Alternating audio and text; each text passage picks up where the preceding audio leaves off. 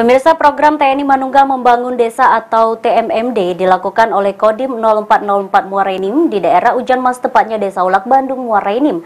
Pada program TMMD kali ini difokuskan dengan pembangunan sumber air menggunakan sumur bor dan MCK bagi warga desa yang masih kesulitan sumber air bersih.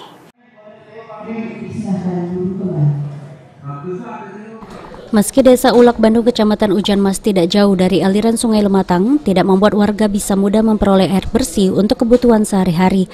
Oleh karenanya, Kodim 0404 Muara ini melakukan program TNI Manunggal membangun desa atau TMMD di desa tersebut dengan koordinasi Pemkap Muara ini.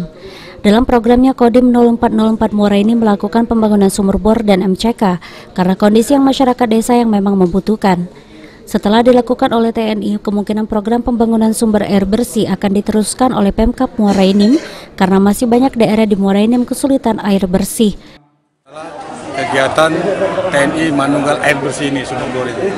Kemungkinan ini nanti uh, menjadi program pemerintah Kabupaten Muarainim, tapi kita lihat situasi dan kondisi dulu, kita pelajari dulu, dan ini bisa nanti uh, menjadi program uh, dinas terkait di Kabupaten Muarainim untuk menanggulangi uh, kesusahan Eh, mendapat air pada saat utamanya di musim kemarau. Lihat sendiri kan masyarakat sangat terbantu dalam memperoleh uh, suplai air bersih, terutama sekali pada saat mendekati musim kemarau. Masyarakat uh, harus ke sungai hampir berapa ratus meter tadi kan untuk mendapatkan air bersih. Dandim 0404 Muaraini Meletkol Arhanut Rimba Anwar mengatakan, TMMD sendiri merupakan program pusat yang digagas oleh Kasat TNI. Mereka hanya mendata daerah mana saja yang layak mendapatkan bantuan.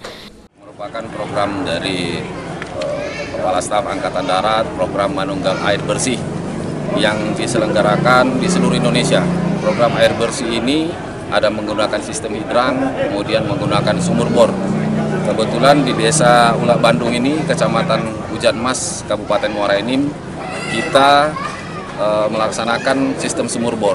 Yang kedalamannya itu kita e, ini 62 meter dengan mesin 3 per 4 PK yang ini yang bisa mengaliri di sini kurang lebih 143 KK 143 KK selain kita membangun penampungannya penampungan e, air yang kurang lebih 3000 liter kami juga membangun MCK, ada MCK, ada lima pintu MCK yang bisa digunakan untuk uh, masyarakat yang ada di tidak hanya pelayanan air bersih berupa sumur bor, TMMD di Desa Ulak Bandung juga melakukan program pembuatan jalan setapak, bedah rumah, pembangunan siskambling dan beberapa kegiatan lainnya. Mardian Sapal TV